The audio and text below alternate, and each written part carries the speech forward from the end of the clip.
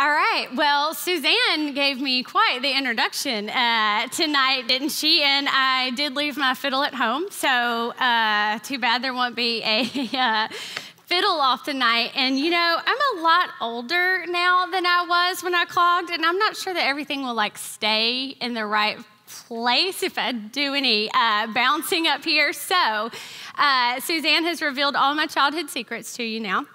Um, and so tonight I probably won't be doing any fiddling or clogging, but that might be a little bit easier than what we are going to talk about tonight, and that's relationships. So you hear that and you either groan, roll your eyes, or you clap because let's let's be honest, ladies. Relationships can be the most encouraging, meaningful, wonderful part of our lives. But if we're honest, they're hard they can be really hard. And even the best relationships can be challenging. Uh, it doesn't take much long to find yourself in the middle of conflict. Well, I am the mom to twin boys, uh, Beckett and Eli, and so I am no stranger to relational conflict in my house. Even starting in the womb, they had some wrestling, punching action going on in there. And so, even though they're super close and they're best of friends, there are times when they have just had it with each other. And so it normally starts when they're up in the playroom and I'm downstairs. And so they're up playing. And so I listen for the sounds that are going and I may hear, you know, a scream or a bump or a thud. And then I wait to see if someone's going to cry, see how that goes, give it a little bit longer to determine if they're going to work it out for themselves or if the parental police is going to need to come upstairs and get involved. And so one time last summer, man, summer is hard. They are like so crazy and so bored, and it's like breeding ground for sibling squabbles. And so things started to escalate, and uh, it went from the crying to then I heard like some thuds and some running around. It sounds like we might be throwing things. And so I start making my way up the stairs, and then I hear them start screaming. Uh, you're the worst brother ever. You're a crybaby. I'm going to kill you. And so then I'm like running as fast as I can at this point. And I top the stairs, and they are both squared off. One of them has on a catcher's baseball mask and is holding a golf club. And the other one has on the, has a baseball bat and is standing on the other side. And they are swinging like their lives depended on it. And so I'm like screaming at them to stop, but they are so locked in on each other. Like their brother's demise is like the only thing that they have on their mind. So I had to walk right in between them, risking life and limb to bring peace in the situation, to get right in the middle of conflict. And that's where our girl Abigail finds herself in our passage tonight, right in the middle of conflict. One man, her husband Nabal, who is described as cruel and hard hearted, and another man, the future king of Israel, the hot headed man known as David. And so Abigail's story is found in 1 Samuel chapter 25.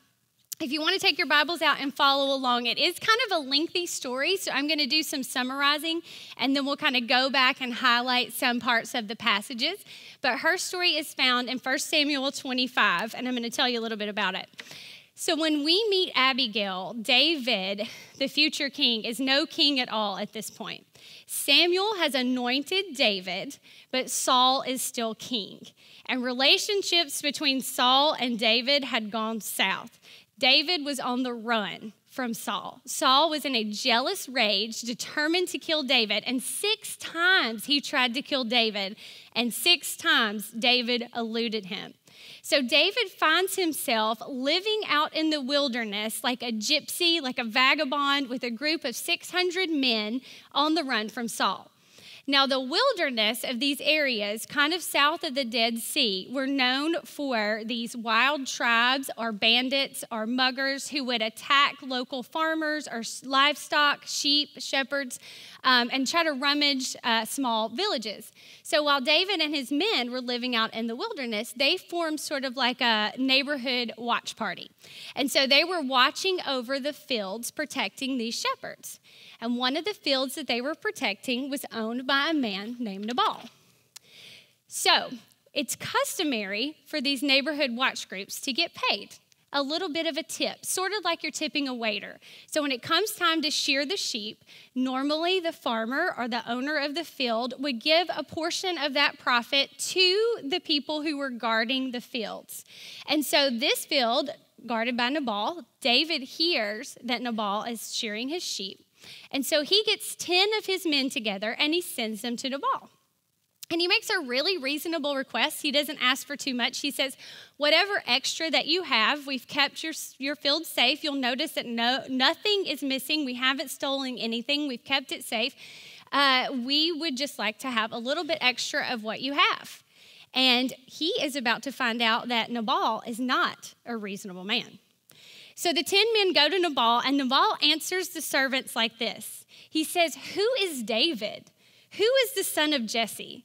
There are many servants these days who are breaking away from their masters. Should I just take my bread and my water and my meat that I've killed for my shears and just give it to men who come from I don't know where? Y'all, who is David? Nabal knew who David was. I mean, he was notorious because just a few years he had slayed the giant Goliath. Everyone knew who David was. And so he was insulting David. More than that, though, he goes in for the kill shot because he accuses him of being a traitor to the king of Israel. Now we see how Nabal gets his reputation for being hard hearted.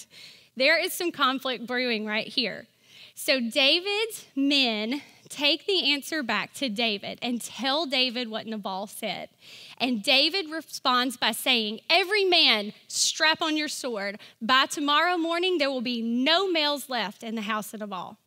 David had had it. He was ticked off. He's hungry, he's exhausted. He thought he'd done this man a favor, and then somewhere out of the blue, he acts like a lunatic and decides to offend him. David is done. He is out for blood. He is coming for Nabal. He has 400 men, and he's coming to their household. There is doom impending for the house of Nabal. He has put an army into motion. But behind the scenes, one of Nabal's servants who witnessed the entire interaction go down between Nabal and David's men, goes to Abigail, Nabal's wife, and tells her what's happened. So let's make sure we don't miss this because Nabal's men went to Abigail. Nabal makes a decision, sends off crazy insults to David, and his servants go straight for Abigail, the wife get the impression this is probably not the first time that Abigail has had to deal with the consequences of her husband's decisions and intervene to make things happen. But the stakes this time are high, and a woman is about to save the day. Ah, don't you love it when that happens? So Abigail springs into action and she doesn't waste any time. She gets grains and wine and sheep and raisins and figs and she loads them up on donkey and she sends them out to David. She doesn't tell her husband Nabal. I think we know why they call her wise now. Abigail rides out on her donkey through the mountain until she comes face to face with David and in what is the speech of her lifetime. In fact, one of the longest documented recorded speeches of a woman in the Bible. She gets off her donkey, she falls on her face before David, she pleads for the life of her people, and David listens. He calls off the army. Abigail saves the day. I love this story. And so, Abigail, God uses her in such an incredible way. She brings peace in the middle of this conflict. She spares the lives of hundreds of people. And what we're going to see is not only that, she challenges David to be the kind of man and king that God created him to be. Abigail's story has so much to teach us. It's a remarkable story about what to do when we inevitably find ourselves faced with relational conflict. So, I want to look at three truths that we can find in Abigail's story tonight. So, if you're a note taker, here we go.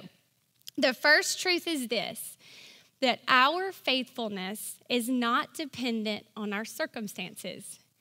That our faithfulness is not dependent on our circumstances. So let's talk about Abigail and Nabal's marriage for a minute. We know that Nabal was a very wealthy man, but his name in Hebrew literally meant fool.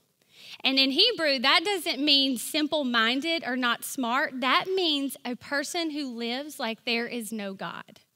And so she is married to a man who lives like there is no God. I cannot imagine that this was an easy relationship for her. Can you imagine the hurt that she probably had felt from him, the wounds or the cruelty or the hard heartedness that he had expressed to her throughout the relationship? How many insults do you think that she had been sent her way? How many times do you think that she prayed, God, what are you doing here? Can't you change this? Why am I married to this man? But here is Abigail in this story described as wise and discerning and intelligent and beautiful inside and out. There is no indication that her difficult relationship has hardened her heart or affected her character or prompted her to justify or make excuses for bad behavior. In fact, we have every indication that despite her difficult situation, Abigail has been faithful to run her household in a way that's garnered respect. I mean, Nabal's servant was facing death, and he went to Abigail and trusted her with his life. She did not allow her difficult marriage to a cruel and mean man to affect her faithfulness. In the face of adversity and challenges, she remained good and smart and wise. And I don't know about you, but I am floored by that. I am challenged by that because I know how easy it is for me to get pulled into the negativity of a hard or difficult relationship, to become bitter or to start harboring up unforgiveness in my heart when I'm hurt or I'm wronged in a relationship, or to want to hurt back, and how I allow relationships sometimes to affect my behavior. Um, my, if I'm honest, in one place it's with my spouse.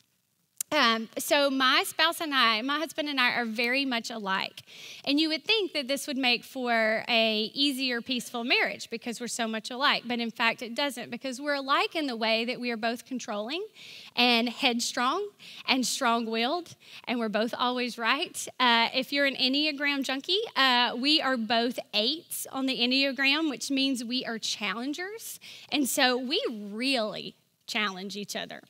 And this uh, really reared its head for the first time. Uh, it's been 13 years that we're married, and it's still a challenge. But it was particularly bad when we were first married. We had no idea what we were getting into. And we moved in together. And so, one of our ways of dealing with displeasure about the way the other person handled household chores or responsibilities was to just sort of like up the stakes and pay them back. And so he hated the way that I left my hair dryer and my toiletries and my makeup and all my stuff out on the kitchen, uh, out on the bathroom sink. Like he asked me over and over again, could you just put that stuff up when you get done? Because when I use the sink, I don't want it out everywhere. And of course, I'm like, I mean, it's my sink, and you don't understand like taking it all out, putting it back up, taking it all out, putting it back up every day. Ain't nobody got time for that. And so one day I came home to find that he had just like swept it all off the all off the bathroom counter into like a big pile in the closet floor. He's like, I'm sorry. If you can't put it up, this is where it's gonna be every day when you get home. And I was like, oh, really? Really? Because you know what I hate? I hate when you leave your laundry all over the floor. I hate when you walk in the house and take off your belt and then take off your jacket and take everything is like this trail of clothes all over the house. And then you finally make it to the bedroom to finish changing and you put them on the floor right beside the basket, like right beside it. So the next time you did, I got out my trash bag and I just put all the clothes that were on the floor in the trash bag and tied it up and put it out in the garbage. See? Yep, that's what happened. And you can see how things can just get really out of hand when you respond this way to being treated, when you respond by trying to get the other person back it can get really out of hand. And so I don't know about you, if you think about a difficult or challenging relationship, maybe you have one in your life too. Maybe it is your spouse, maybe it's your ex spouse. Maybe it's your in laws or your, maybe it's your child who's just like stretching you on the daily. Maybe it's a friend, or I've been in this situation before. Maybe it's your boss who just makes coming to work every day a challenge. And here's the thing those kind of relationships can just drive us to be bitter or to be hardened or to want to like pay back that hurt that we felt with more hurt. But the thing about Abigail is when she heard what Nabal had done, when she heard what David was going to do, how easy would it have been for her to be like, oh, this is my chance? I don't have to do anything. This is freedom for me. All I have to do is sit back and do nothing. And David is going to take care of this situation with Nabal for me. I don't have to do anything. Nabal, make no mistake, is getting what he deserves. He trash talked a warrior king, and a warrior king is coming for him. And Abigail all she had to do was nothing. This could have been a moment that led to her freedom, but she could not remain silent. She made the choice to do good. Despite her circumstances, despite everything she'd been through in the relationship, she chose to be faithful and good and do what was right in God's eyes. She repaid evil with good. She repaid evil with good in her relationship with Nabal. She paid evil with good in this situation. And she calls David to do the same thing. When she rides out to David, she says in her speech, David, let the fools like Nabal repay evil with evil. You, David, you are called to more and greater because you belong to God. Repay evil with good. Love your enemies. Let the Lord handle them. You, David, are called to do good. And so, for those of us who belong to God, we are called to operate in a radically different, loving way, to love the people who hurt us, to do good to the people who wound us, to repay evil with good because we belong to God. And so I want to encourage you tonight that if you are in a hard and difficult relationship, I just want to encourage you to continue to do good, continue to be faithful despite your circumstances. Abigail's story shows us that we can honor God, that we can be faithful despite our circumstances. The second truth found in Abigail's story is this a humble heart is a game changer for our relationships. A humble heart is a game changer for our relationships. It is so easy to see pride in this story, isn't it? You can see it in Nabal who's like, oh, who's David? I don't need David. I can take care of myself. I don't need to pay that guy. And then you can see it in David, who's like, it's on, buddy. You're thinking to offend the king of the king of Israel. You don't know who David is. I'm about to show you who David is. See the pride, right? So easy to see. It's right here in the story. But I wonder how easy it is for us to see pride in our own relationships how easy it is for us to see pride in our own hearts. Because there is pride that lurks in our heart that can derail any of our relationships at any moment. You know how I can spot it in my own life? I can spot pride in my relationships when I start thinking about what I've done right in the relationship and what the other person has done wrong. And I can spot pride in my relationships when I start keeping this sort of like checks and balances of how much I've done for them, how much they haven't done for me in return. And I can spot pride in my heart and my relationships when I find myself thinking about the decisions that we should make. They should be about what I want and what I feel and what's good for me. That's how the decisions should be made. And I can find myself with pride in my heart when I think things like, How dare he? How dare he criticize the way I match his socks? He needs to get down on his knees today and thank the Lord that he has a wife that does laundry. Amen? Seriously. Yeah. It's pride. Pride can lead us right into conflict with others because we're only thinking about ourselves. And I love it when this whole situation is brewing. It's a servant that goes to Abigail, a servant with no authority over the household, a servant that she could have easily dismissed because of his low lot in life. But he comes to her and he talks to her about what's happening. And you know what? She listens. She listens to someone who, on all accounts, is below her and beneath her. And she could have easily dismissed him and been like, Look, this is none of your business. We got the household under control. But she didn't. She humbled herself she listened to her words. And then when she made the decision to go out to David, she was selfless. She was not thinking about herself or putting herself in harm by any stretch of the imagination. And so try to picture this, okay?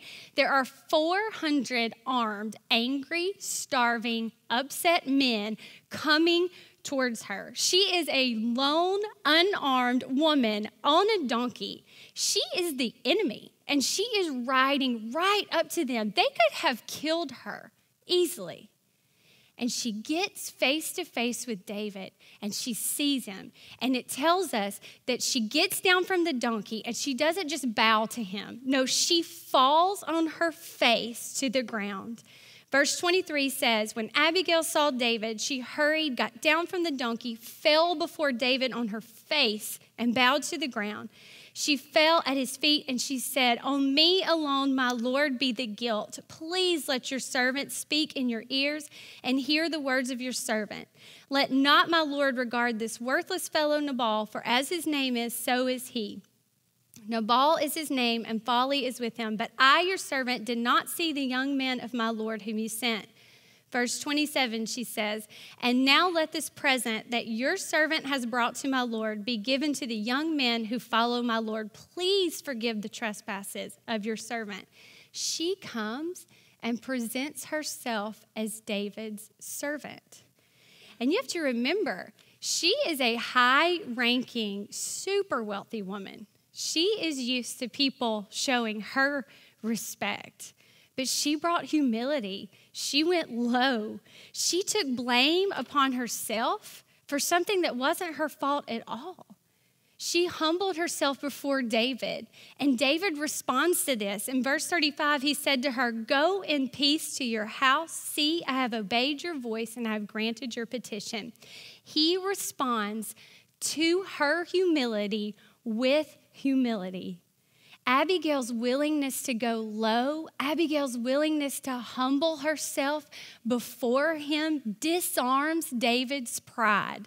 Her humility gets him to respond as humility. David's heart is full of pride and it's wounded and it's hurt from lack of respect, reeling from being offended, wanting to take revenge, and he is stopped cold in his tracks by this woman's incredible display of humility. Humility was a game changer in this situation, and it is a game changer in our relationships.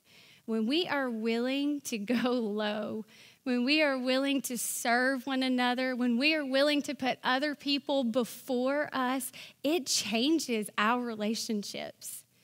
There are relationships, if you are struggling with a relationship, I encourage you look for humility. It's hard, y'all. Pride is our flesh and it is our natural reaction. But when we go low, when we bring humility, it can change the nature of our relationships.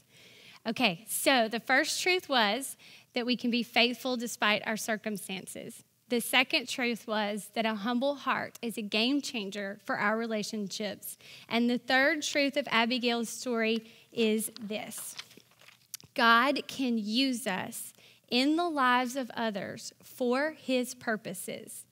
God can use us in the lives of others for his purposes. There is no doubt that Abigail was brave and courageous to act in this situation, to go around her husband, to ride out to see David, took incredible strength and courage. But Abigail does more than save her people. She brings a message from God and she challenges the future king of Israel. We're going to look at Abigail's speech, and it is a powerful example of the way God uses people to speak words of life and truth into other people. Abigail, after humbling herself before him, begins to speak into David's future, calling him to be the man that God created him to be. In verse 26, it says, Now then, my Lord, as the Lord lives, as your soul lives, because the Lord has restrained you from blood guilt, from saving with your own hand. Now then, let your enemies and those who seek to do evil to my Lord be as Nabal. And now let this present that your servant has brought to my Lord be given to the young men who follow my Lord. Please forgive the trespasses of your servant, for the Lord will certainly make my Lord a sure house, because my Lord is fighting the battles of the Lord. And evil shall not be found in you as long as you live. If men rise up to pursue you and seek your life, the life of my Lord shall be bound in the bundle of the living in the care of the Lord your God. And the lives of your enemies he shall sling out as from the hollow of a sling. And when the Lord has done to my Lord according to all the good that he has spoken concerning you and has appointed you prince over Israel, my Lord shall have no cause of grief or pains or conscience for having shed blood without cause or for my Lord working salvation for himself. When the Lord has dealt well with my Lord, then remember your servant. Abigail says, David, this pride thing that you've got going on, that's for fools. That's not for you. That's not who God created you to be. She said, David, remember God gave you a promise that your house would endure, and He is calling you. Live up to your calling, David. You are held tightly in God's hands, but your enemies are going to be thrown like a stone from a sling. When was the last time a stone was hurled from a sling?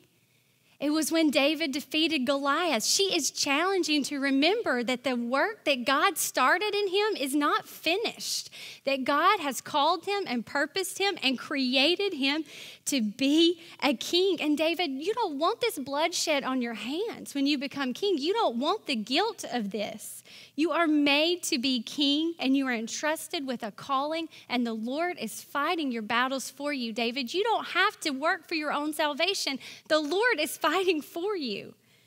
Y'all, she's just not looking for meaningless niceties just to make David feel good. She is speaking to David on God's behalf. She is speaking words of life and truth, and she is courageously challenging David to be the man that God has created him to be. So when the boys were 10 weeks old, I went back to work. And it was the hardest, probably one of the hardest, darkest seasons of my life. They weren't sleeping yet, but I still had to go to work, and I was exhausted. And we, we had a hard time getting back to church, but I remember one of the first uh, Sundays that we made it back, I was nervous to turn the boys over, um, but I was also sort of looking forward to some adult time. Uh, and so we checked the boys in, and then we went to our Sunday school class. And uh, we were sitting in our Sunday school class. We hadn't been there very long when I got the call that I needed to come get one. So I go and get him, and I come back up to the room, and I like stand outside the door, and I'm like, you know what, Lord, I can't do it. I can't take him in here. I can't try to make him quiet. I'm just gonna like call it a wash for today, and I'm just gonna sit here on this bench and wait on everybody to get done. So I'm sitting here with the baby, and this woman comes, and she sits beside me, and she was older than me, and she was very nice. She was making small talk, looking at the baby. And as she talked to me, she looked me in the eyes and she said, it's hard, isn't it? and I just lost it. I was just like sobbing on this woman. I'm like, it's so hard. And I'm telling her, like, I, I don't know what I'm doing. I'm so inadequate to do this. Uh, they need more from me than I can give. My husband needs me. I go to work and my staff needs me. And I was like, I am a failure on all fronts at this point. And so she was very kind and she told me a story about when her kids were young. And she said, You know, I don't have all the answers. She's like, Sometimes it's just day by day, trusting God, doing the best that you can do. She said, But I do know this it is by no accident that you are their mom.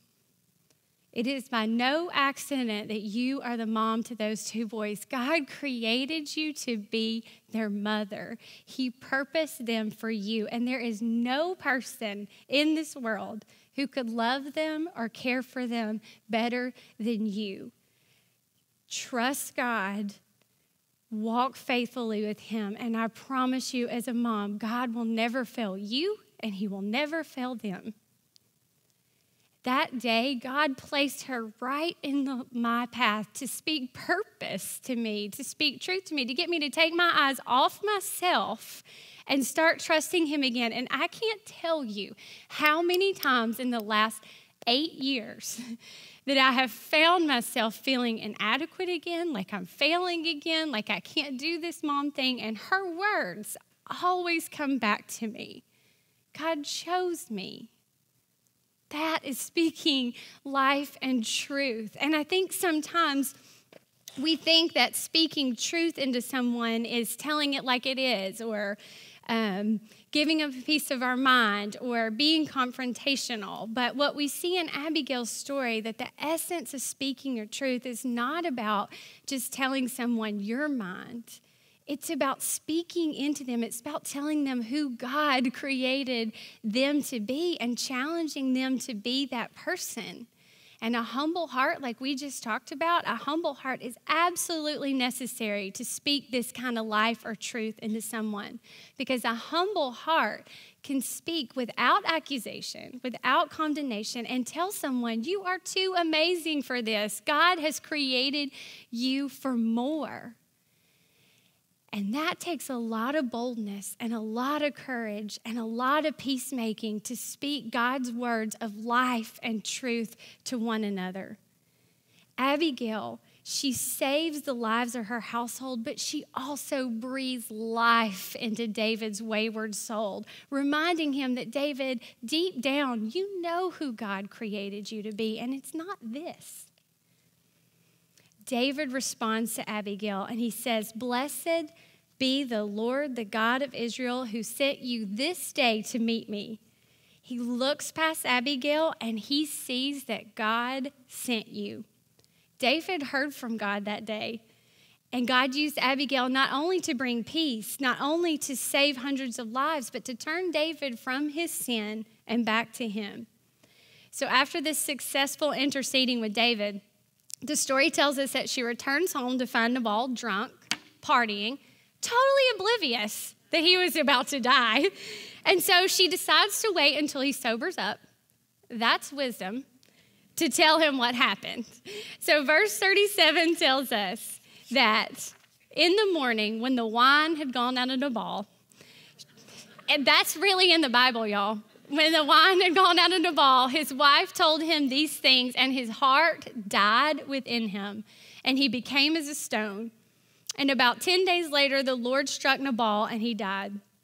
And when David heard that Nabal was dead, he said, Blessed be the Lord who has avenged the insult that I have received at the hand. Don't y'all love David? He is so imperfectly messed up, but still great. Uh, and has kept his servant from wrongdoing. The Lord has returned the evil of Nabal on his own head.